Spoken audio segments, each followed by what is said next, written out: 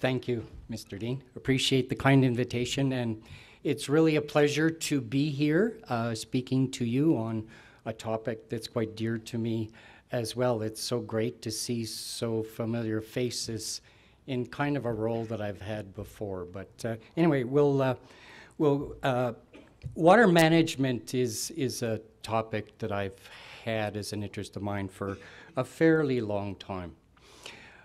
Hydrologic cycle, uh, amazing. We've had it in our mind since what grade nine or something like that. And the fascinating thing about this is that now, and especially if you win Kent's 40 inch television and you have internet connection, you can bring up probably a hundred different pictures of the hydrologic cycle. The fascinating thing is none of them are the same. And in fact, my professional view is that most of them are incomplete. As a rule, that's a fascinating teaching tool because then I ask, what's missing? So it seems like a small point, but it really isn't because how we view the hydrologic cycle and where we put ourselves is so critical in terms of our view of management.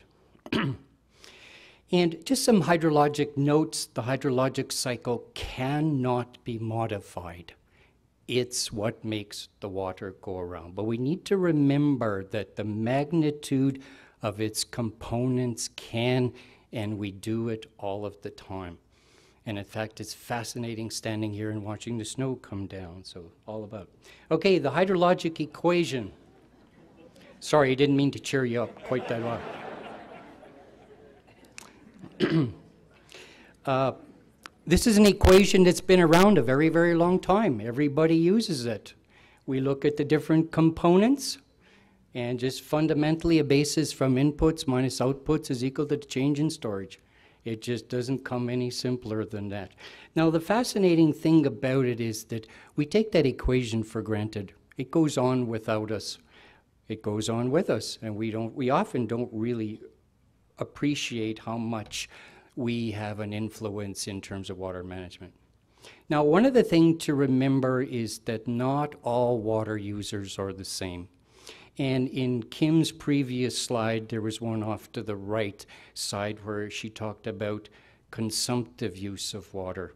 And it's a huge difference whether you're a consumptive user or a non consumptive user because it's, as Kim said, it's are you downstream? Are you able to get water to those individuals? I was quite fascinated by this slide when when I saw it. If you read my abstract, you'll you'll realize that my talk revolves around a glass of water and how we view it. And this one I found is quite interesting because on the right, it's the glass that says what we already have. And so it's basically how can we make better use of that water that we have? but it's the one on the left that I act, and, and the one on the right is one that we, we, we, we use so much in terms of conservation efforts, et cetera, and that makes a lot of sense. But it's the one on the left that I find really interesting. It's what we need. So it's presupposing that we need a full glass of water. So sorry, but half a glass just ain't going to cut it. We need to get more water. Well, everybody knows, and Kim reiterated, it's a finite source. Now, the fascinating thing, though, is that belief locks us into a certain strategy of uh, what I'd call water management that I actually think is quite restrictive. And I do believe there are ways in which we can get more water. And if you're interested, this is a very self serving plug. I have a breakout session, and for no fee to you. Well, actually, I guess the conference fee, you can learn all about it. Okay, my fearless predictions for 2050. And anybody who makes predictions know if you're really smart, you never say anything that somebody can test in your lifetime. And as, as John referred to, I am an old guy. And as I made this slide, I thought, like, whoa, I have some genes to take people into a few more decades beyond me, and I go like, whoa, there's an outside chance I might be here, but I don't think so. But anyway, so most of you well, you can remember. And it, it is, I use the word fearless because I put them out there. I believe the purpose is to challenge people and for us to think about issues and how we're going to approach them. I have two guiding principles, and these we must not take lightly. Those are ones that I think we should adopt, but they're also ones that have huge implications of how we view water. The first one is that water is a human right. So clean water and sanitation for everyone, no exceptions. I know what that is, but there has been discussion at the UN, etc., etc. The second guiding principle is Water for Life Goal 2. And as a professional, I can tell you that as Albertans, we should really be proud of the Water for Life strategy. It is a darn good document. And the second goal is healthy aquatic ecosystems and in-stream flow needs. Some of the earlier speakers talked about the importance of nature and water to health. We are really going to start to see that over the next little while, and we're going to see people who want to talk more about it. Growing population on Earth, we've already heard 9 point, it's interesting, 907, 920 something, 2050. How will we feed them? So we reached 7 billion on October 1st, October 31st of 2011. I'm not entirely sure you can see the graphs as whether it's dark enough, but these are the projections for population. And if you note, right about in here is when 2050 occurs. And you don't really need the years, but the thing you need to note is two of the graphs bend over.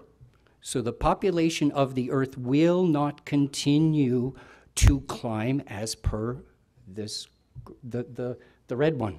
Now, those of you from a range background know all about carrying capacity, et cetera, et cetera.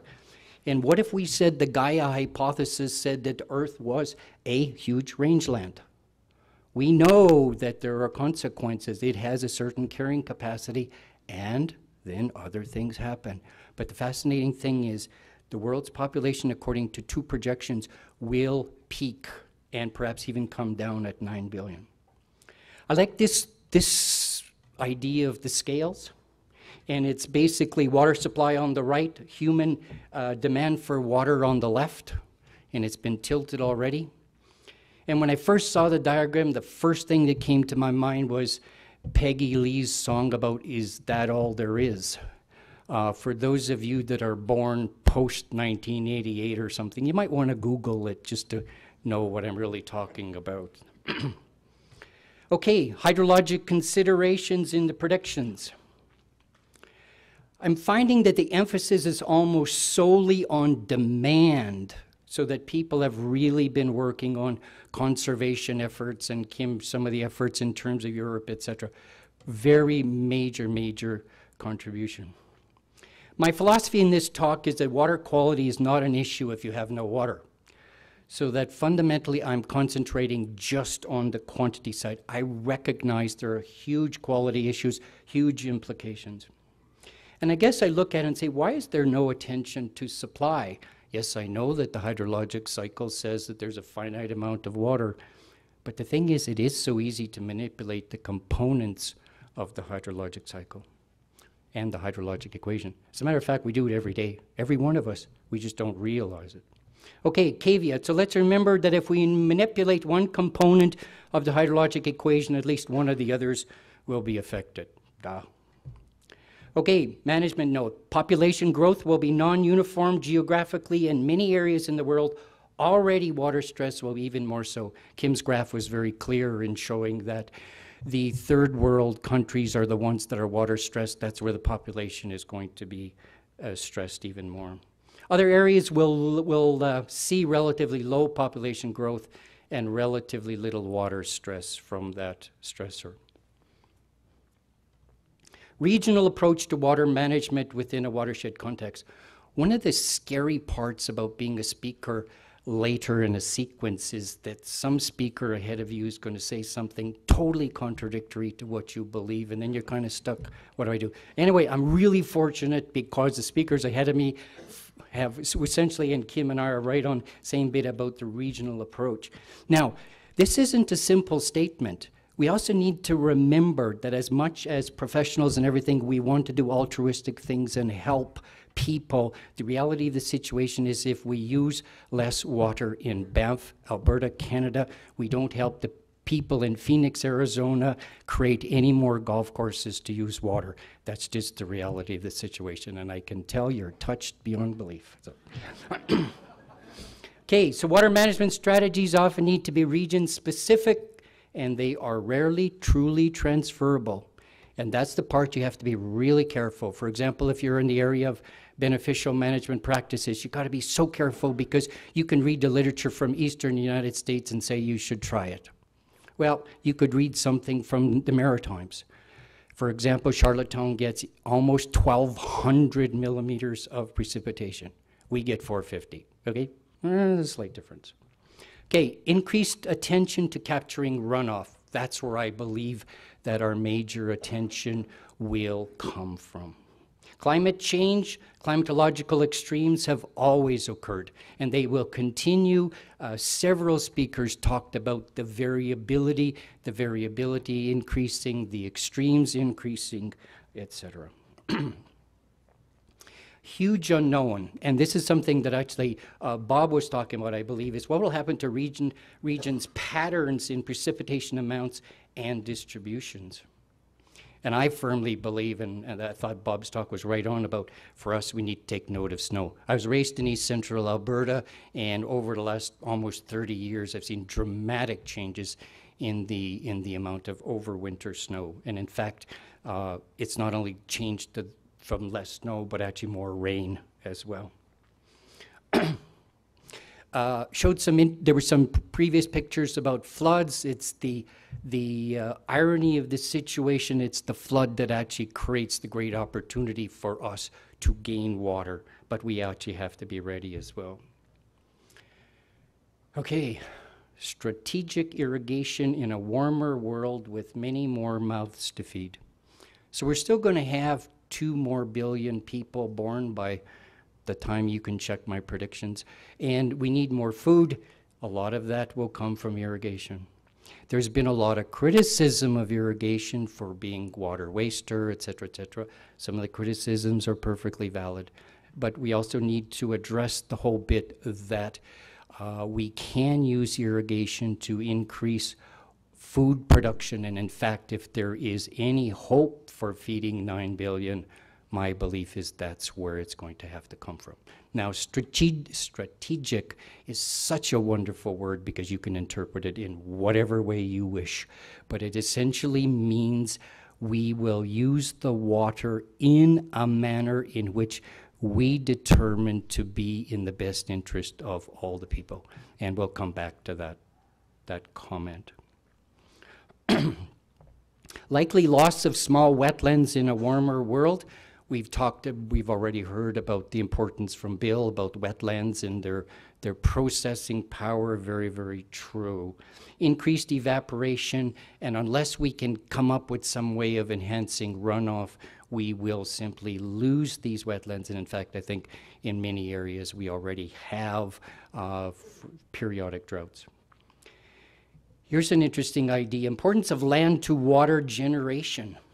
I actually believe that there will be water farms so that we'll actually have areas where we actually designate their sole role is to generate water. Isn't that an interesting idea of, of having that as the product? So, and I actually believe we'll pay people for their water generating capabilities. And that's really an interesting idea that we actually set aside land we work with people. Some of us will own and manage land solely for its gen water generation capabilities.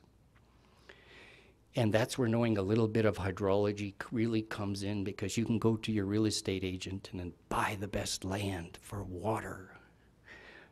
And I'm not entirely sure this is legal right now because you don't really own water, but the whole notion if you can sell power to the grid, why can't you sell water to the grid? That's what we're going to be needing. Okay, urban areas used for water collection.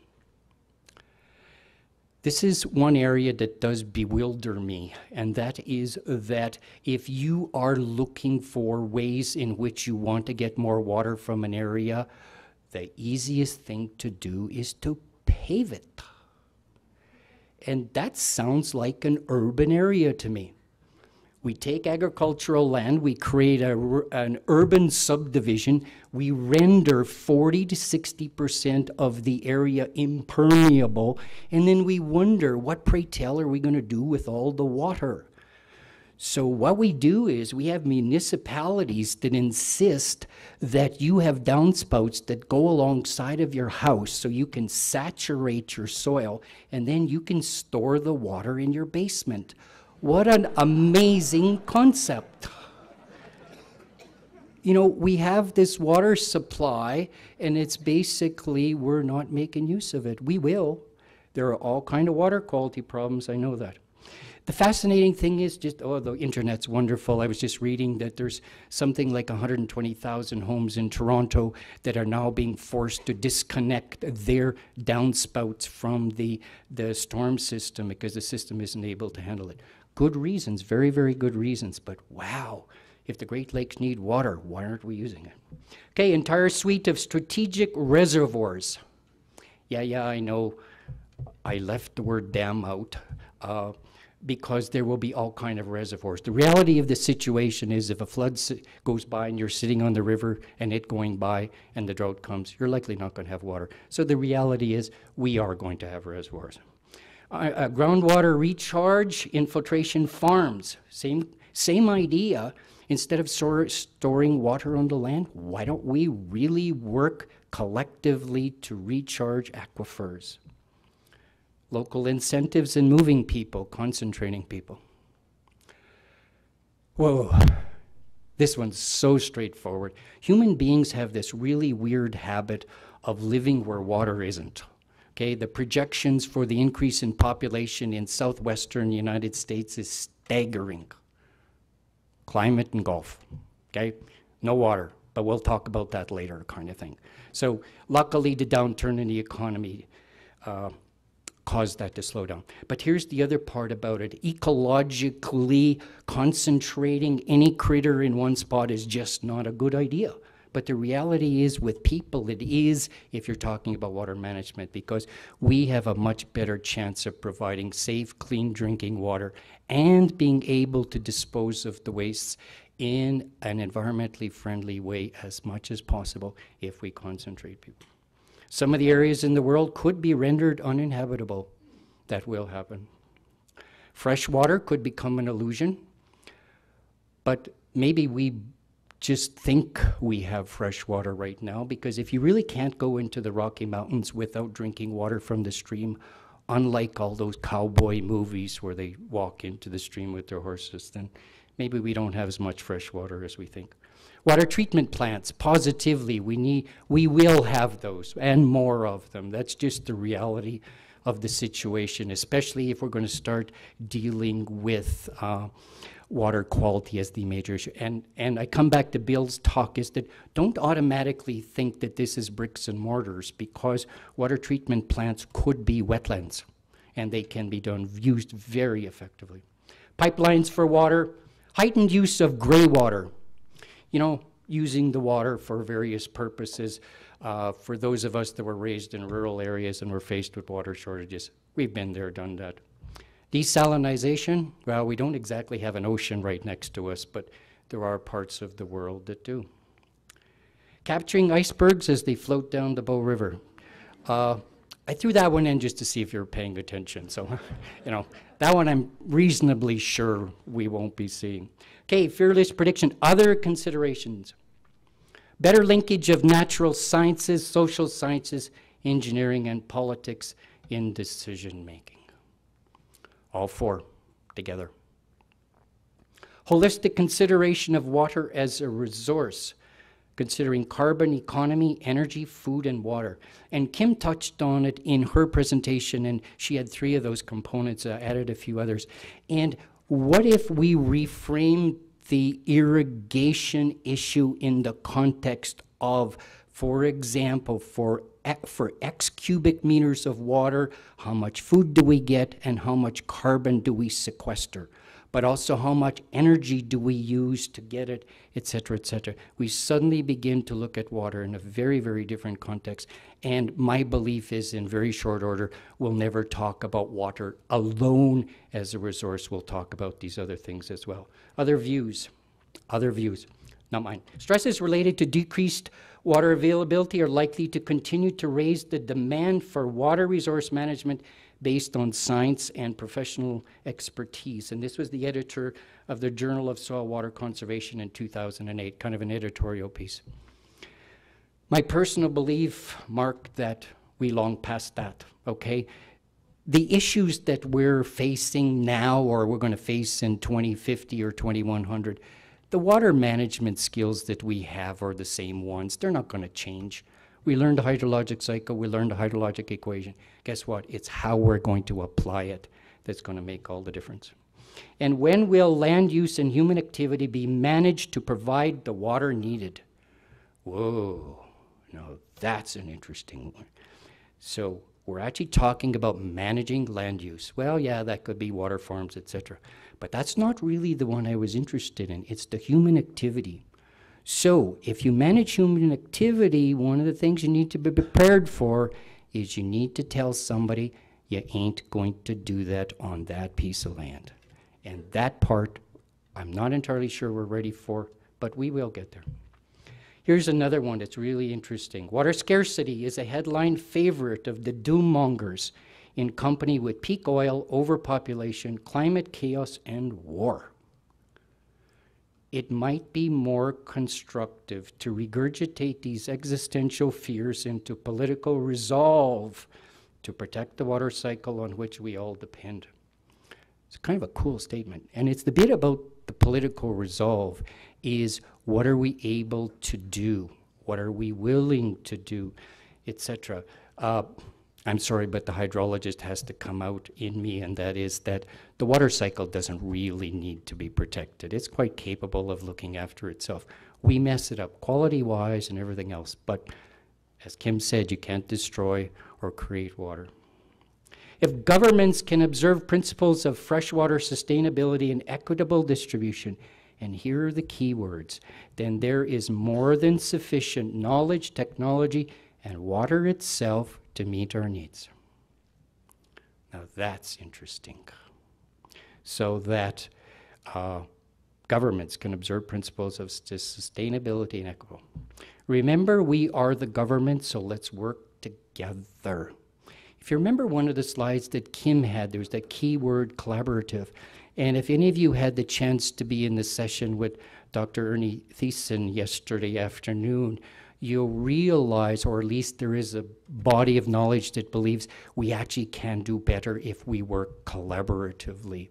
And I have a challenge for the oil sands group. So, right at the moment, I can think of at least four distinct groups that have an interest in monitoring. Can you imagine what would happen if the four of them got together, sat in the same room, and said, We have to stop wasting money, each of us monitoring in our own way if we pool our money, let's talk about what we're trying to find.